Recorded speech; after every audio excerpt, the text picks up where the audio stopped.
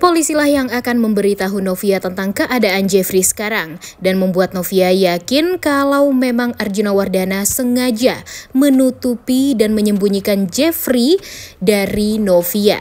Selamat datang di YouTube channel Sinopsis Sinetron. Kali ini kita akan mengulas sinetron Takdir Cinta yang kupilih episode hari ini.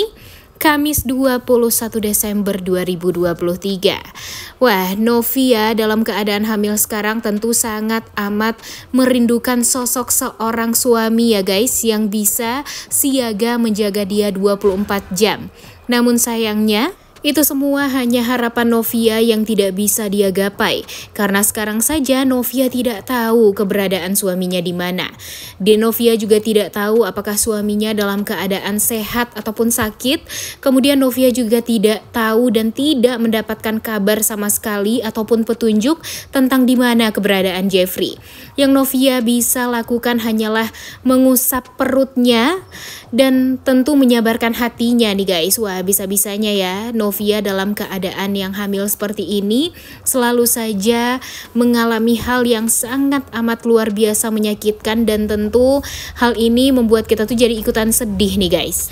Di sisi lain, Jeffrey keadaannya juga tampaknya tidak membaik nih guys. Bisa jadi Jeffrey ini memang membutuhkan perawatan yang lebih intensif lagi. Nah, apakah nanti Arjuna Wardana akan kembali membawa Jeffrey ke Singapura dan akan menyembunyikan keberadaan Jeffrey dari Novia? Waduh, jangan terulang lagi deh ya untuk yang kedua kalinya perpisahan antara Jeffrey dan Novia ini. Kemudian di sisi lain, seperti yang kita tahu kalau Brian sudah sangat amat excited untuk sekolah. Dia sudah memakai baju seragam sekolah, kemudian dia juga menyandang tasnya. Namun betapa kecewanya Brian di saat Oma Nilamnya menjelaskan kepada Brian, Brian akan homeschooling, membuat Brian sangat amat marah dan kecewa karena sekolah yang dia pikirkan adalah sekolah yang ada teman-temannya, Kemudian ada guru-gurunya, ada tempat bermainnya, dan hal inilah yang membuat Brian itu jadi langsung marah kepada Oma Nilam dan Auntie Nadanya karena memang dia sudah sangat amat tidak tahan dengan aturan-aturan yang dibuat oleh Oma Nilam. Dan di sini tentu Brian ini sangat ingin masuk sekolah biasa nih guys, dan Mimin berharap nanti Brian ini bisa satu sekolah dengan Kinara. Nah, kemudian di sisi lain, seperti yang kita tahu kalau Novia kan meminta bantuan Topan dan bodyguard lainnya untuk mencari tahu tentang keberadaan Jeffrey. Kemudian Topan pun pergi ke rumah Wardana dan mempertanyakan Jeffrey kepada Pak Cahyo. Namun sayangnya di waktu yang sama Arjuna Wardana keluar juga nih dari rumah.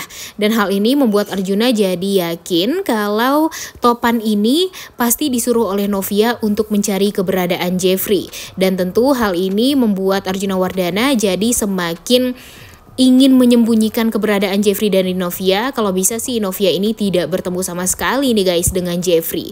Betapa kejamnya ya Arjuna Wardana ini. Coba aja kalau nanti dia tahu Novia hamil. Pasti dia hanya memikirkan kondisi cucunya dan tidak memikirkan Novia. Mungkin saja nanti dia menginginkan bayinya lahir atau cucunya lahir, tapi dia ingin Novia meninggal dunia. Nah, betapa kejamnya nih Arjuna Wardana ini. Tentunya kita tuh udah nggak sabar banget nih guys, menunggu kabar Novia bisa mendapatkan informasi atau petunjuk tentang keberadaan Jeffrey. Dan semoga saja nanti pihak kepolisian juga akan memberitahu Novia nih karena walau bagaimanapun kan waktu itu Novia adalah korban ya. Jadi Novia ini akan diberikan waktu untuk uh, melihat CCTV dan ternyata dia melihat suaminya yang sengaja ditusuk oleh anak buahnya Bagas. Udah gak sabar banget ya guys nonton kelanjutan sinetron Takdir Cinta yang kupilih episode hari ini. Jangan lupa ditonton dan jangan lupa like, comment, dan subscribe. Thank you.